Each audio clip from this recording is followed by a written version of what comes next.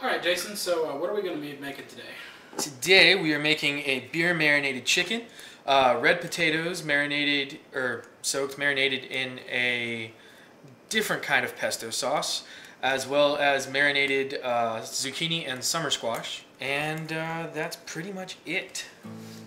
So, this dish, what special semblance does it have for you? Honestly, I first looked up how to make this dish out of a uh, Irish cookbook my grandma gave me. Um, it really does tie into my Irish heritage. It's originally a dish called uh, chicken with parsley sauce, which is well, it's a sauce made with parsley, but it's a cream sauce base.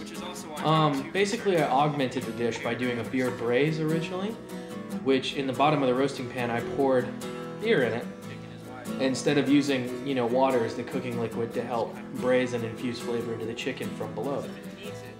The dish that I prepared tonight is an augmentation again of my beer braised chicken, and that I used the beer in the marinade to grill it. It's so hard to watch you pour out a beer, but I know it's going to a good cause.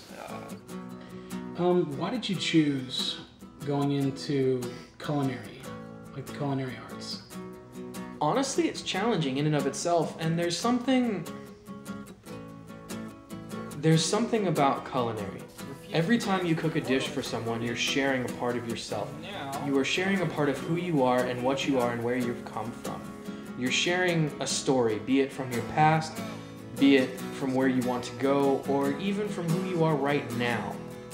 And that's what culinary is to me. That's what cooking is to me. It's sharing those stories through food. And have you ever, and I truly mean ever, seen anyone happier or any group of people happier or more communal or more a part of one another and at peace than when they're sitting there sharing a meal? Another thing is about using a mandolin. Always use the guard. It slices fast, it slices clean, it will slice your fingers off. Do you know any fingerless chefs? My dad has actually had his fingertip taken off. Your dad has had his fingertip taken Cut off by a mandolin, which is why this is the only one that was buried in my mother's kitchen.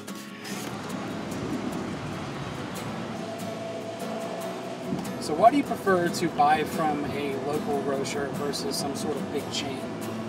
Uh, the money issue and the fact that the money stays within a sphere of influence in the local economy rather than going out of the you know local economy to be spent by some corporation in a different state or you know a different sphere of influence.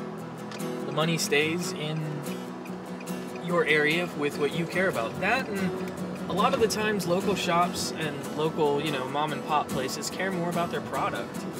You may it may cost you a little bit more, but you end up getting a better product a lot of the time. Chicken. About ready to flip. Pick up the brick. Yeah, chicken stuck too. Ooh, that's right. Watch for flare-ups. Ooh, there are so many ways for food to go that only the imagination of those who prepare it and who those are interested in feeding in the future is the limit. And that is beer marinated chicken and pesto marinated vegetables on a grill. I really hope you enjoyed watching this, and I'm really sorry you don't get to eat it.